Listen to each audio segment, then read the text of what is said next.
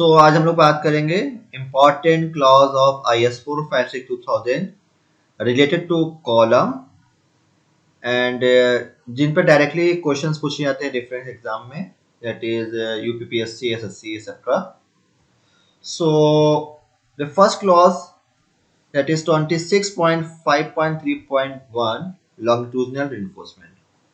So column के case में अगर आप लॉन्गिट्यूडनल reinforcement प्रोवाइड कर रहे हैं सो so, कितना आपको मिनिमम लॉन्गिट्यूडनल इन्फोर्समेंट प्रोवाइड करना है और कितना मैक्सिमम प्रोवाइड करना है?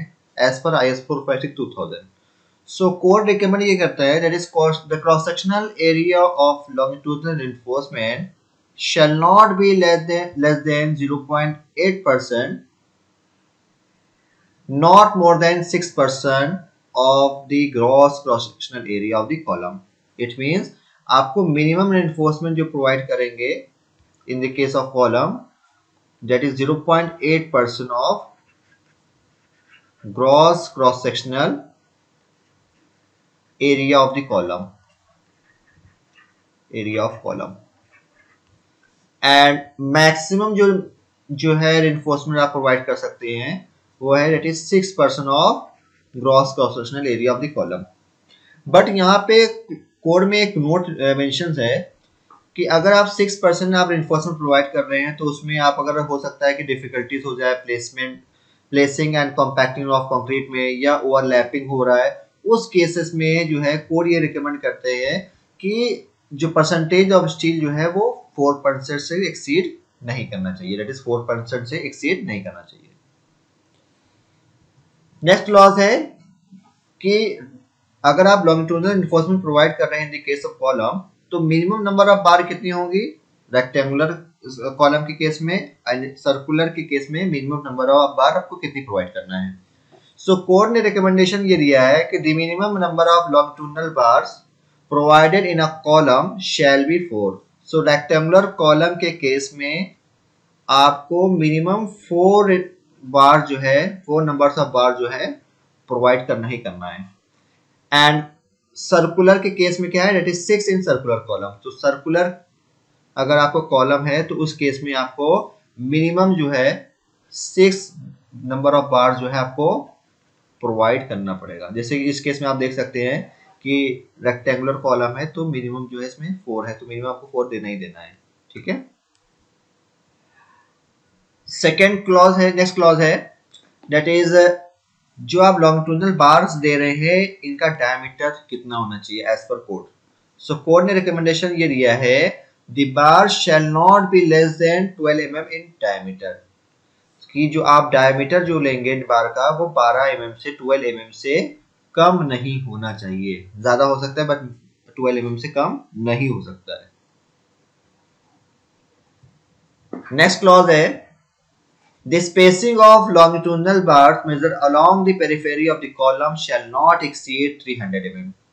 It means जो spacing of longitudinal bar जो आप देंगे वो 600 mm से ज़्यादा नहीं होना चाहिए that is shall not exceed 300 mm. Next clause है कि अगर आप ट्रांसवर्स इन्फोर्समेंट प्रोवाइड कर रहे हैं कॉलम में सो ट्रांसवर्स इन्फोर्समेंट जो प्रोवाइड किया था in the form of lateral ties में तो ये आपका लेटरल टाइस है सो लेटर टाइज अगर आप प्रोवाइड कर रहे हैं तो इसकी पिच या कह सकते हैं स्पेसिंग कितनी होगी और इनका डायमीटर कितना होगा। और इनके रिगार्डिंग क्या रिकमेंडेशन गिवन है I S four five two thousand so the pitch of transverse reinforcement shall not be more than least of the following distances अब क्या है कि जिसमें से लिस्ट होगा, उससे ज़्यादा नहीं हो सकता है। अब कंडीशंस क्या है? First the least lateral dimension of the compression member so column basically compression member होता है। तो सपोज़ अगर आपका कॉलम है और कॉलम की जो साइज़ ऑफ़ द कॉलम है सपोज़ वो 500 हंड्रेड mm है and three three three fifty by five hundred M M की सपोज़ आपकी डायमेंशन है कॉलम की। तो इस केस में जो लीस्ट लेटरल डायमेंशन कितनी होगी? दैट इज़ 350 फिफ्टी mm ठीक? सेकेंड की सेकेंड क्लॉज क्या है? That is 16 time the smallest diameter of the longitudinal bar to be tied it means अगर सपोज़ ये आपको चार बार्स हैं लॉन्गिट्यूडनल बार्स सपोज़ इनके डायमीटर डिफरेंट है। सपोज़ दो बार्स के डायमीटर सपोज़ मान लिए 25 एम mm है, और दो बार्स के डायमीटर 20 एम है। तो सेकेंड कंडीशन के हिसाब से क्या होगा? It is 16 times the smaller diameter तो 16 times of the smaller diameter the smaller diameter इस केस में क्या होगा? दैट इज़ 20 एम तो दैट इज़ कितना हो गया? दैट इज़ 320 and the third condition is 300 mm तो इनमें से जो लिस्ट होगा वही लेंगे। तो लिस्ट कितना है? दैट इज़ 300 mm उससे एक्सीड नहीं करेगा। स्पेसिंग ऑफ़ ये, ये कह सकते हैं पिच ऑफ़ लेटरल टाइज तो नेक्स्ट क्लॉज जो है related to diameter of the lateral ties के रिगार्डिंग है। सो ये जो आप लेटरल टाइज दे रहे हैं इनका डायमीटर कितना होगा? सो so, इसमें रिकमेंडेशन जो गिवन है the diameter of lateral ties shall not be less than one of fourth of the diameter of the largest longitudinal bar. ठीक है? तो नॉट लेस देन मतलब कि आप ज़्यादा ही प्रोवाइड करेंगे। तो कंडीशन फ़र्स्ट क्या है? That is one fourth of the diameter of largest longitudinal bar तो सेम केस लेते हैं एग्जांपल ले लेते हैं. सपोज़ ये 25 फाइव के डायमीटर का है और ये 20 20 का है. तो लार्जेस्ट कितने हो गए? That is 25 mm. तो 25 by 4 that is 6.25 mm. Second क्या है? That is 16 uh, 6 mm होता है. 16 से है. That is 6 mm. तो इनमें से जो इनसे कम नहीं प्रोवाइड करेंगे, आप इनसे ज़्यादा ही प्रोवाइड करेंगे। तो आप यहाँ पे छह सिक्स एम एम या six point two five M तो जनरली क्या होगा? हम लोग एट एम एम की प्रोवाइड कर देते हैं। तो ये कोर्ट के रिकमेंडेशन याद करिएगा, याद रखिएगा। That is one fourth of the largest longitudinal part second condition is six M M next clause है पेडेस्टल के रिगार्डिंग है। सो बेसिकली पेडेस्टल जो है, वो कंप्रेशन मेंबर होता है। कंडीशन ये गिवन है। और पेडेस्टल आप कब कहोगे when the effective length of west does not exceed three times of least lateral dimension अगर effective length three times of least lateral dimension से एक्सीड नहीं करती है तो उस केस में आप क्या कहेंगे कि पेडेस्टल कहेंगे। और अगर एक्सीड कर जाती है तो उस केस में आप कॉलम कहेंगे। सो so, ये जनरली क्वेश्चन पूछा था इस पर डायरेक्टली और पेडेस्टल के रिगार्डिंग एक क्लॉज है in case of pedestal in which the longitudinal reinforcement is not taken in account in the strength calculation तो सपोज़ आपने जो है स्टंट कंसिडरेशन के रिगार्डिंग जो आपने स्टिल इन्फोर्समेंट नहीं लिया है.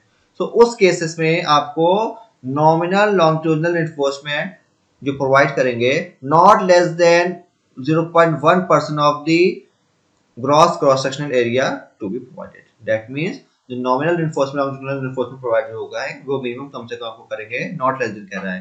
That is 1 0.15 percent of the cross sectional area